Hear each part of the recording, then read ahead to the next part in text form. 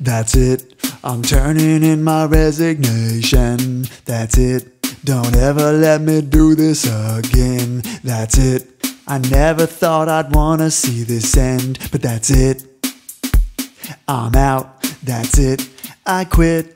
I'm gonna take a job back at home. I quit. Going back to where the buffalo roam. I quit. I'm surrounded by people, but I'm alone. That's it.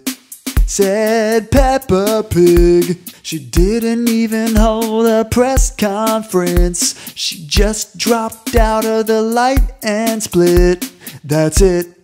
Peppa Pig quit. I'm her publicist. This was all took place in my office. She came in. She said, "That's it. I quit." And she's gone. I haven't heard from her.